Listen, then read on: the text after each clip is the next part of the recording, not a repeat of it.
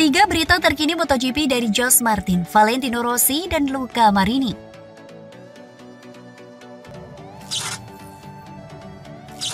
Luca Marini mengaku kaget dengan atmosfer MotoGP pada musim debutnya tahun 2021.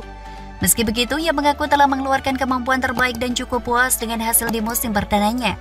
Runner-up Moto2 2020 tersebut melakoni debut MotoGP bersama tim satelit Ducati, Reala Avintia. Ia finish di posisi ke-19 dengan 41 poin. Saudara Valentino Rossi mengaku cukup kaget dengan atmosfer MotoGP yang jauh berbeda dari kelas di bawahnya seperti Moto2. Saya tidak pernah mengira kalau perbedaan Moto2 dan MotoGP sebesar ini. Mereka ada di dua dunia yang berbeda, kata Marini dilansir dari Speedway.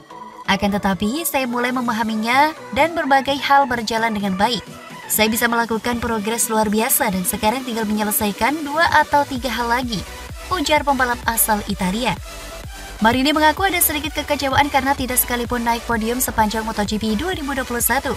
Meski ia tetap bersyukur hasil yang diperolehnya selama musim debut MotoGP. Tentu saja, saya ingin lebih kuat lagi di lintasan karena saya merasa bahwa masih bisa lebih baik lagi. Namun karena berbagai alasan rasanya tidak mungkin meraih hasil lebih dari itu, kata Marini. Untuk MotoGP 2022, pembalap 24 tahun itu yang membalap dengan VR46 Racing Team itu mengaku mulai memahami berbagai aspek penunjang kesuksesannya di MotoGP. Ia yakin akan tampil lebih baik dari musim lalu. Secara umum, hasilnya masih positif karena saya bisa mendewasa sebagai seorang pribadi maupun pembalap.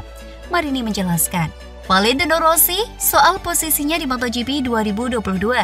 Di MotoGP 2022, tim besutan Valentino Rossi VR46 Racing Team akan meramaikan persaingan di balap motor kelas utama. Dengan nama Money VR46 Racing Team, tim debutan tersebut akan diperkuat Luca Marini dan Marco Bezzecchi. Sebagai pendiri VR46 Racing Team, Valentino Rossi sebenarnya punya kans untuk memperpanjang karir di MotoGP. Akan tetapi, The Doctor punya pertimbangan lain. Mengingat usianya sudah terbilang uzur dan performa yang mulai menurun, Rossi memutuskan pensiun di penghujung MotoGP 2021. Sebagai penggantinya pria berusia 42 tahun tersebut mempercayakan kursi pembalap Moni VR46 Racing Team kepada dua pembalap Italia yang masih muda. Ide untuk membalap bersama MotoGP milik saya sendiri benar-benar menarik, tetapi akhirnya saya memutuskan untuk tidak melakukannya karena alasan tersendiri. Ujar Rossi dikutip dari Motosan. Rossi menyebut ada risiko besar jika melanjutkan karir meski masih akan didukung sederet sponsor besar. Ini akan menjadi proyek yang masuk akal jika Anda bisa memperkuat tim selama 2 tahun atau lebih.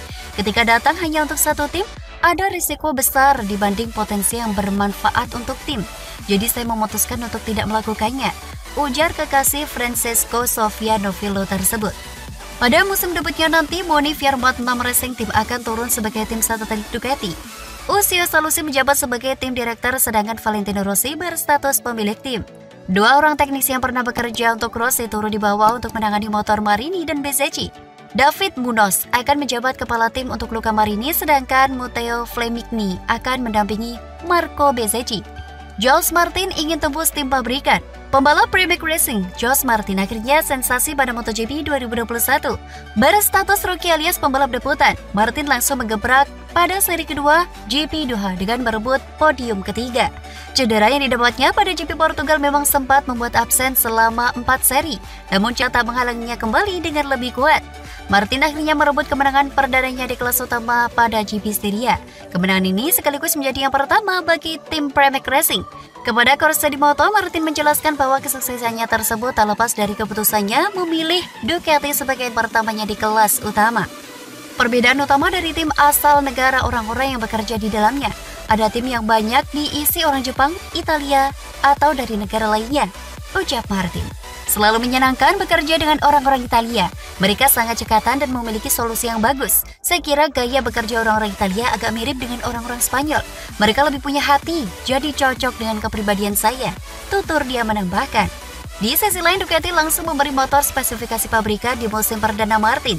Kesempatan itu jelas tak disia-siakan oleh laki-laki asal kota Madrid tersebut. Meski meraih hasil terburuk di atas punggung Desmose di GP21, lainnya terdapat banyak pengamat mengapresiasi proses adaptasi Martin dengan Ducati yang berlangsung lancar. Dengan kepercayaan dirinya, Martin pun memancang target tinggi pada MotoGP 2022 yang akan dimulai pada Maret mendatang. Kalau tes pramusim berjalan dengan baik dan saya bisa makin memahami motor saya, saya yakin kami bisa bertarung untuk top 5. ujar Martin. Saya orang realistis. Target saya musim ini adalah mengamankan tempat di tim utama pada MotoGP 2023. Sebelum kompetisi MotoGP 2022 resmi dimulai di Doha, Qatar, para pembalap bakal menjalani tes pramusim. Tes pramusim akan digelar di Malaysia, Indonesia, dan Portugal sepanjang Februari mendatang. Jelang MotoGP Indonesia 2022 di sirkuit Mandalika, nih ada yang baru, termasuk baru tapi lama.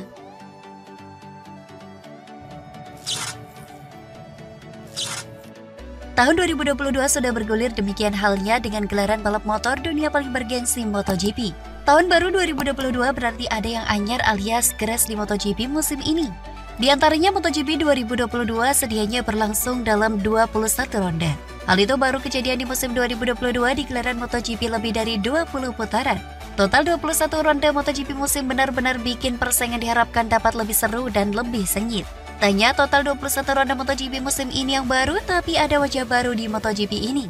Reaksi Motor Plus Online mencatat ada 6 pembalap MotoGP baru di 2022. 5 pembalap MotoGP di antaranya adalah wajah baru banget alias Rocky.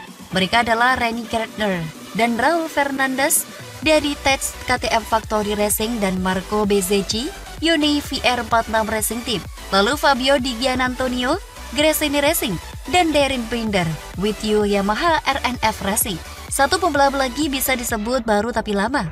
Dia adalah Andrea Dovizioso with you Yamaha RNF Racing. Andrea Dovizioso melakoni debut MotoGP di 2008 silam hingga jadi pembalap skuad Ducati pabrikan hingga 2020.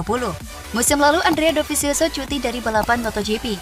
Beruntung masih ada slot kosong di tim Yamaha, satelit membuat Andrea Dovizioso bisa kembali balapan di MotoGP 2022 setelah memutuskan absen.